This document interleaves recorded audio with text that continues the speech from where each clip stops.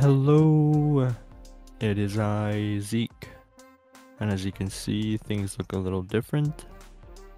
I finally found a shader that works, and for this episode, I have done quite a bit of work off camera. I still have the tent set up, but now I have this, this little portal room I have this so that I can go to the starter town where a bunch of other players are nearby. So it's just something to. it's just a way for me to stay close to everybody.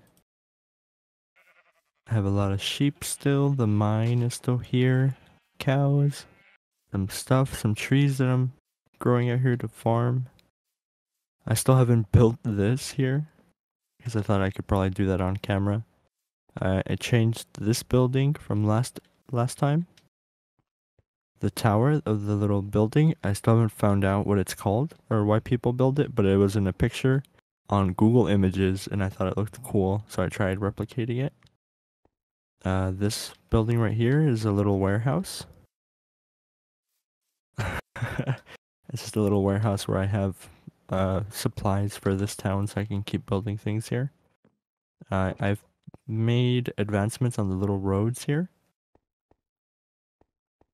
Some other buildings that I have set up for now. I guess I'll put up the images here. Uh, this is the layout that I have for the for the town right now. It's what I'm trying to follow, and this is how I have it so far.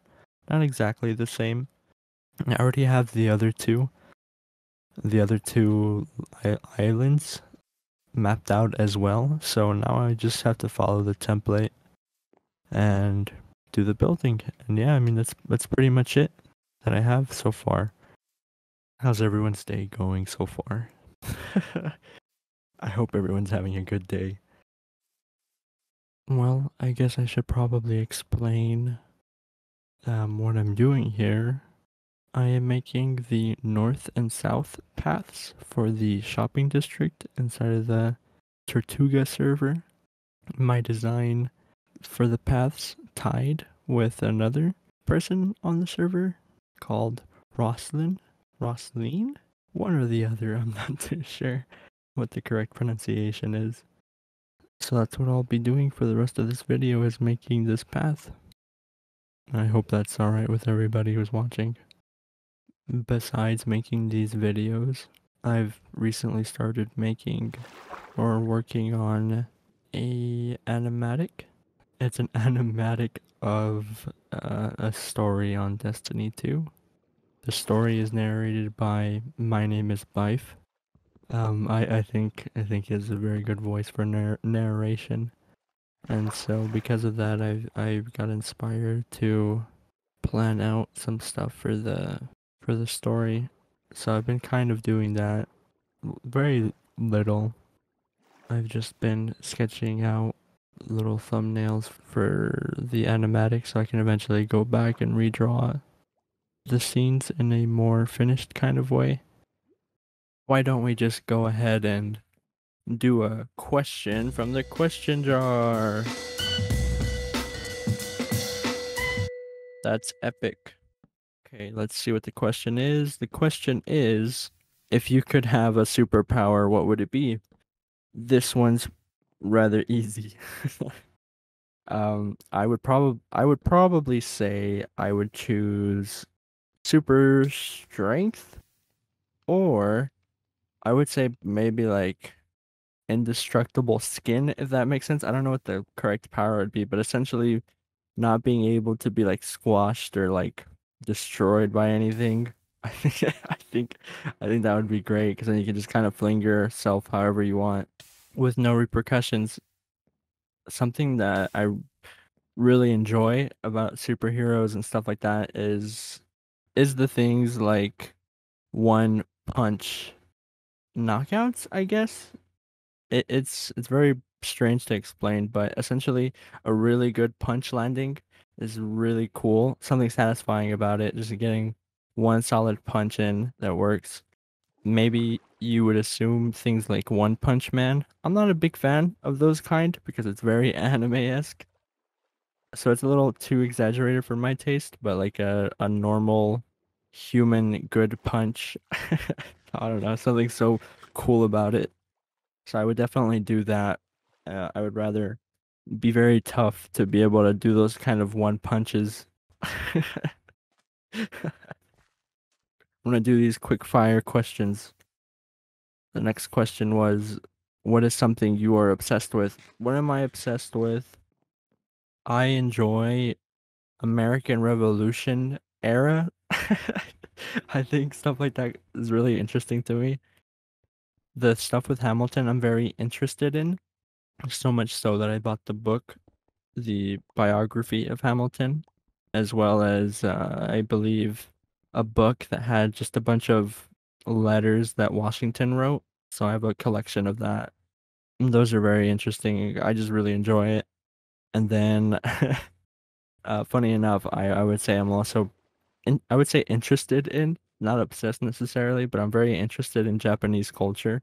Not in a, not in a very, um, not in a way where I denounce my own culture or my nationality, but I just have an appreciation of the Japanese culture. It is something that I don't really know a lot about. It's all very surface level. So I I really don't know what there is to know because there's so many things you could so many things you could only know by living in that country. But I respect it. I respect the Japanese culture and the things that they make and that goes along to the media that they do so uh, manga i'm very interested in i i like the style of it not all i mean obviously not every single manga style but there's something about the the line work and the composition that i really enjoy but i'm sure you could probably hear me ramble on about manga and anime in the previous episodes. Third question. If you opened a business what kind of business would it be? I don't know if i would want to do a, a business per se. Uh i i think i think making a some sort of um club or or charity i'm not too sure which one's the correct labeling for it. However this is a thought that i've had for a while now. I'm going into teaching and specifically i'm going to teach middle school and that is because i feel like middle school is the prime age for students in the sense that that is when they start to develop their personalities and generally speaking the things that that they experience in middle school essentially shape how they will be as adults and i think i would be able to provide new experiences new activities that they would they usually wouldn't be able to do in a in a way that is healthy for a child to learn them in the sense that I would introduce children to uh, different sports, hobbies, activities of that kind uh, in a more patient way that would help the students. So instead of having a, a business where where I would just profit off of things, ideally, in in my perfect world, I would be able to have some sort of I guess activity center or club. I'm not too sure. There was something similar to that where I was growing up, but a place where I would be able to have staff.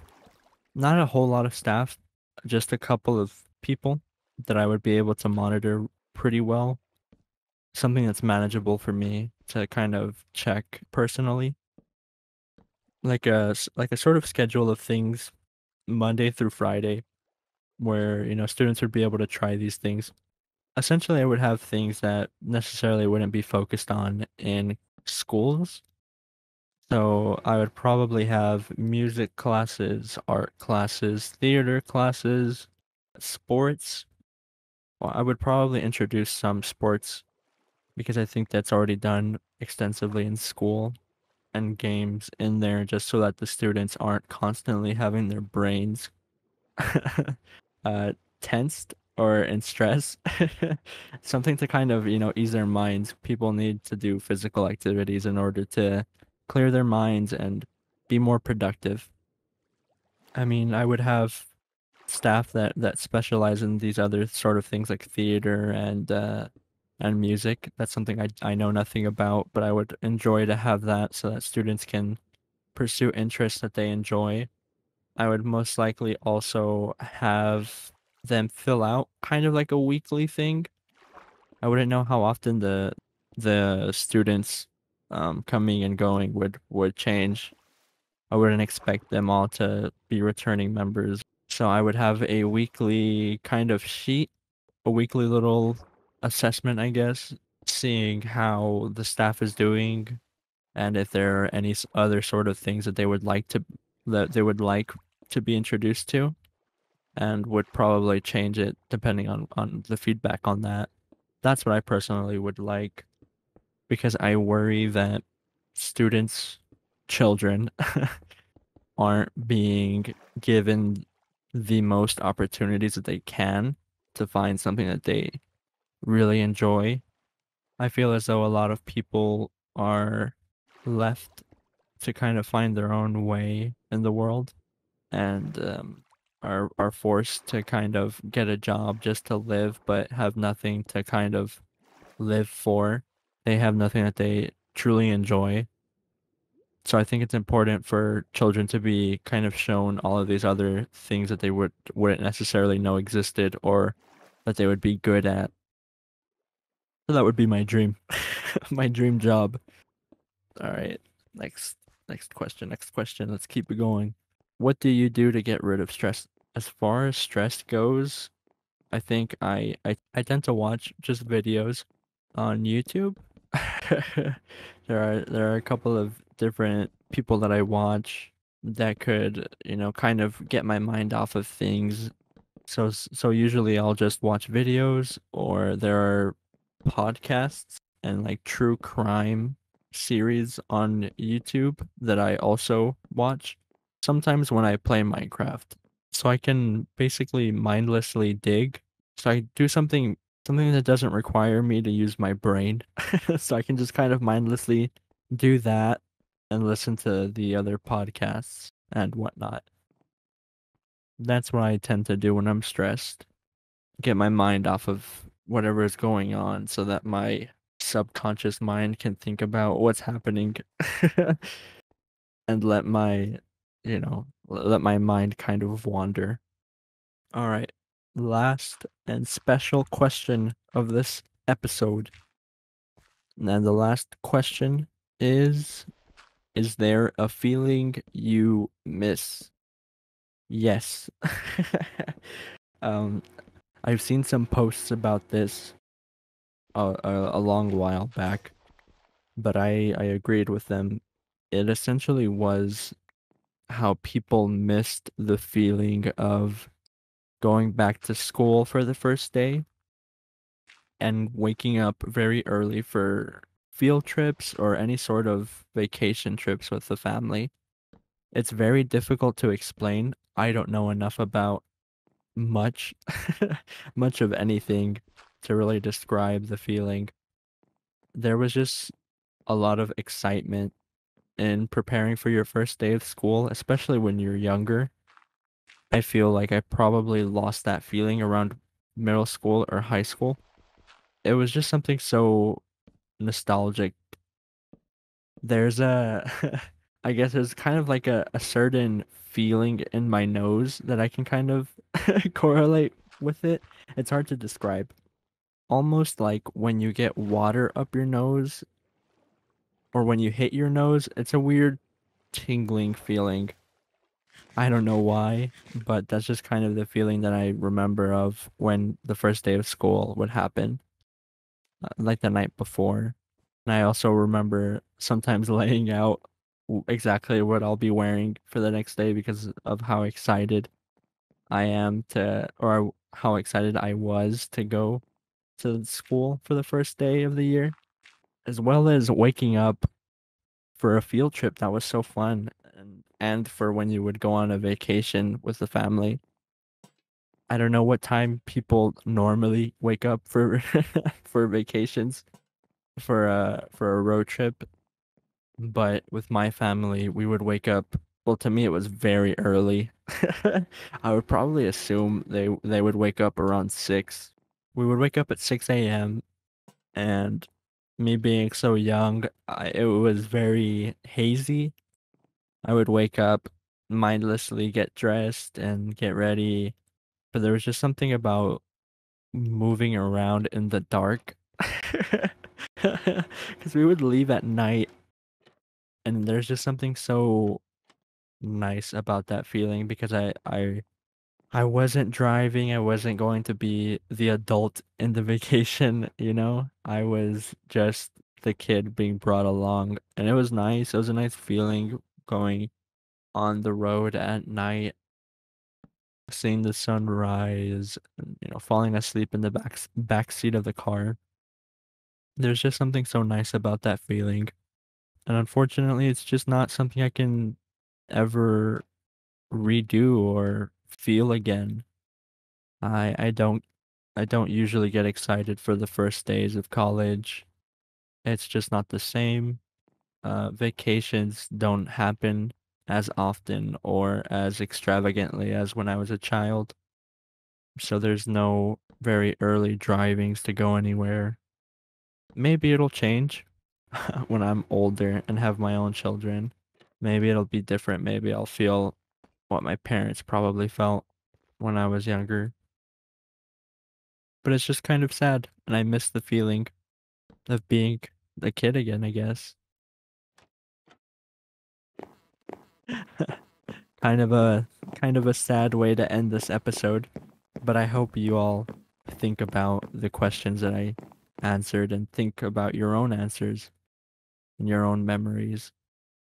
I hope it's something that is happy, even if it's in a sad way. I hope you look back at things with fondness. See you later. Take care of yourself. Until next time.